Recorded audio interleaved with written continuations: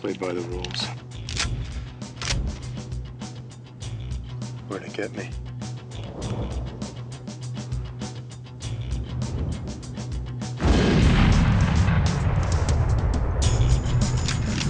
When people are in an economic depressed state, they start looking around as to how they're going to uh, help themselves.